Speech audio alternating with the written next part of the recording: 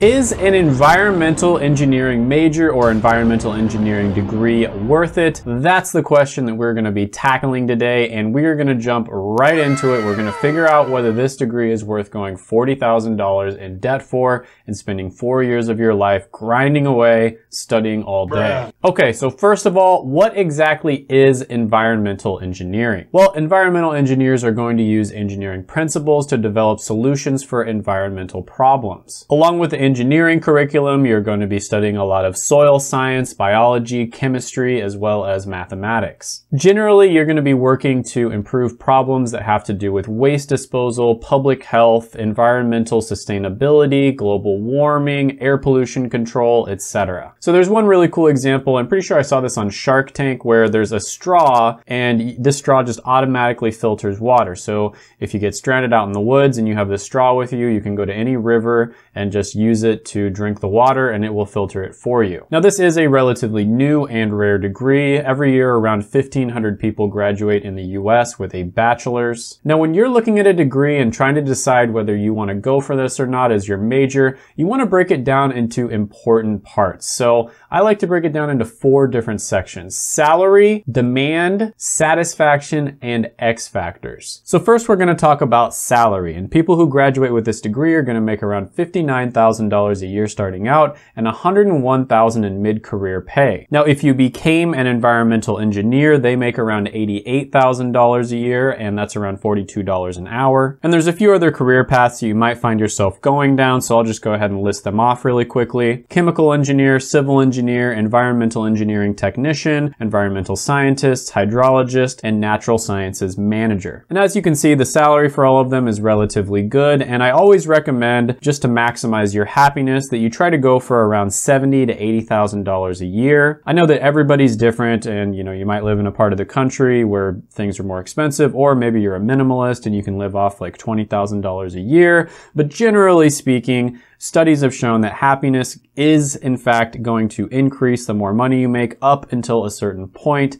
and that's usually around 70 to 80,000. Now, if you look at the latest census and you see how much engineering degrees make over a lifetime, it is excellent. By far the number one degree at around 3.5 million compared to all the other ones, which are 2.4. So it's no surprise here, engineering degrees score really well when it comes to salary or earning potential. I'm gonna give this one a 9 out of 10. Next, we're gonna be talking talking about the most subjective section, which is satisfaction. And I like to break this one down into meaning and job satisfaction. And meaning is basically how much you think your job positively impacts the rest of the world in a significant way. So for this degree, it has a meaning score of about 64%. And if you compare that to one that's really high and one that's really low, you'll see that it's above average. Now, if you were to become an environmental engineer, the meaning score is 70%, which again is going to be above average. And if you look at the the job satisfaction score, it's 72%, and you can compare that to a really good one and a really bad one. And again, it's gonna be on the higher side. So everything is looking really good there. It looks like people who go into this career path not only find it meaningful, but they enjoy doing their job on a day-to-day -day basis. Now, another thing I like to look at is the percentage of people who regret getting their college degree. And ZipRecruiter released data, and it shows that engineering is the third least regretted type of degree. Only around 15% of people who got it regretted it, and the main reason is because the best jobs out there sometimes require an advanced degree like a master's or a doctorate. But overall, really good. This section is extremely subjective. Like I said, there's so many other things that can influence how you enjoy your job or how much meaning you find in your job. It could be the people you work with, the company you work for, industry you work in,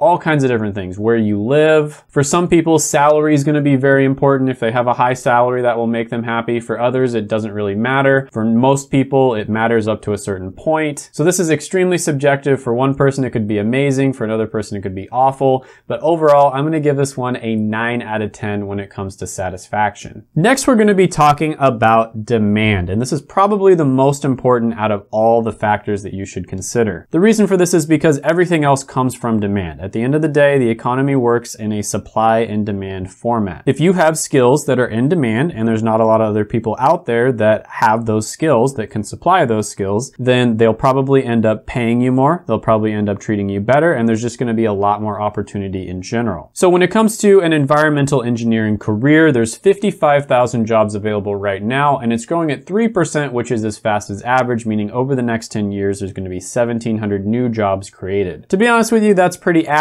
not very impressive. And one of the downsides of getting an environmental engineering degree is it's not going to be as flexible as other types of engineering degrees like mechanical engineering, for instance. So realistically speaking, with a mechanical or a chemical engineering degree, you could do a lot of the same jobs as an environmental engineer, but it doesn't necessarily work in the other direction. A lot of the time, hiring managers and business owners are really used to mechanical engineers applying for jobs, even if those jobs don't necessarily have much to do with engineering itself. A lot of the time, they'll end up hiring people with these degrees just because they respect them and they know that they're hiring somebody who's probably really smart and also really hardworking. So it's almost like they have a little bit of real estate inside of people's heads who make important decisions when it comes to hiring. However, environmental engineering, although it might be just as good in terms of the skills you learn, isn't nearly as well known and probably not nearly as respected. So it could be much more difficult for you to get your first job, especially if you aren't able to get a job as an environmental engineer. Now, one way you can test the waters a little bit is to look up the keyword for the degree you're going for on monster.com or indeed.com. So for instance, you could type in environmental engineering degree, and when I did that, 9,400 jobs popped up. You can compare that to a really bad one and a really good one, and you'll see that it's actually not that bad. It's on the better side, especially when you consider that not that many people are graduating with a degree every year. This is a pretty good sign. Now, another thing that's really great about engineering degrees is when big companies, you know, Fortune 500 companies are surveyed,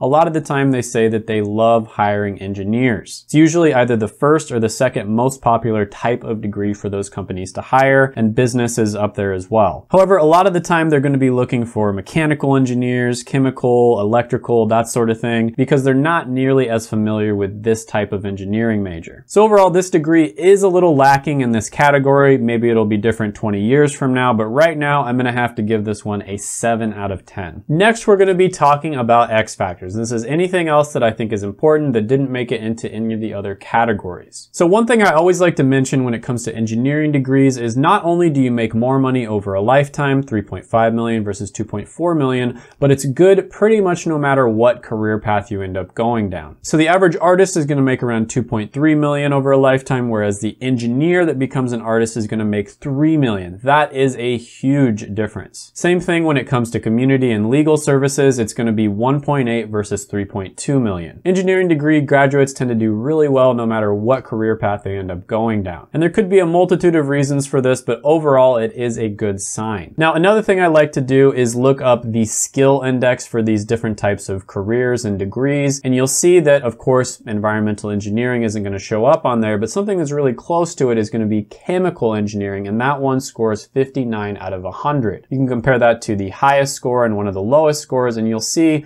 that it's definitely on the higher side. That's a great sign because it shows that hiring managers and business owners are looking for people who have these types of skills. Another thing I like to look at is the likelihood of automation. So for instance, environmental engineers have a 1.8% chance of automation, so pretty much it's not gonna happen. Same thing with environmental scientists and specialists in general, about a 3% chance, very, very low. And when it comes to outsourcing, it's kind of the same thing. Usually engineers are relatively hands-on. They're gonna be communicating with other people. There's a lot of creative intelligence involved, so very unlikely that it will be outsourced. Another thing I like to mention with engineering degrees in general is they tend to create a lot of millionaires and billionaires. They're actually number one in terms of degrees. They create the most millionaires and billionaires. And the main reason for that, besides the high salary, is the fact that it is a really good segue into entrepreneurship. Engineers are the ultimate problem solvers. They are extremely practical when it comes to problem solving. And at the end of the day, that's what most of entrepreneurship is. That's basically 80% of it. So it's extremely flexible. With an engineering degree, you can go down so many different routes. You can work in almost any industry and any business for all kinds of different careers. And then once you've gotten a few years of experience, you've gotten some skills,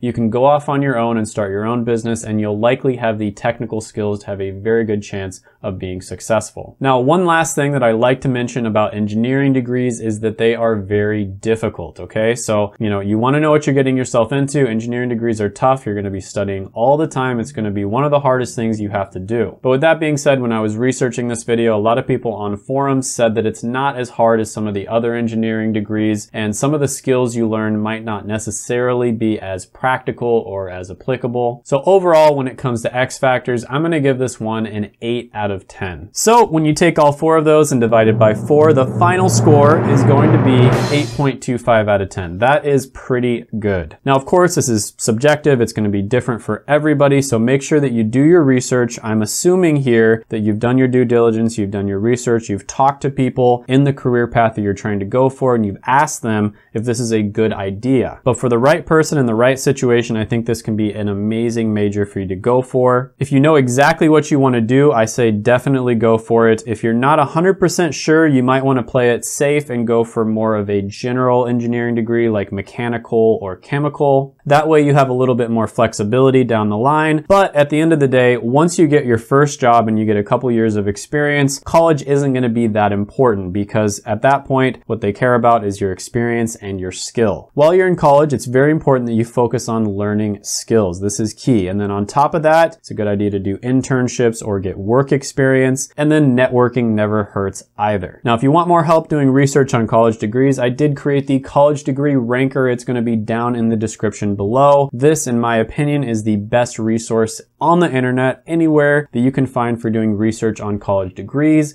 Right now it's in version 1.1. Pretty soon I'm going to be updating it after all this craziness in the world is done with, and I'm going to make it even better. I'm going to be doing version 2. If you haven't done it already, gently tap the like button, hit the subscribe button, ring the notification bell, and comment down below any thoughts, comments, criticisms, etc. that you have on the video. Sharing the video always helps as well, and don't leave. Check out my other videos right here. I made them just for you.